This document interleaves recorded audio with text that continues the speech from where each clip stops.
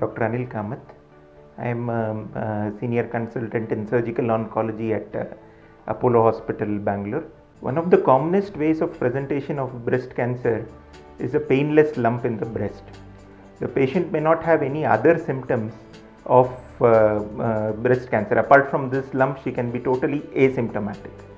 In quite a few patients, the lump may not be present at all, and in these cases, uh, Uh, the cancer is usually detected by way of a mammogram, which is basically an X ray of the breast.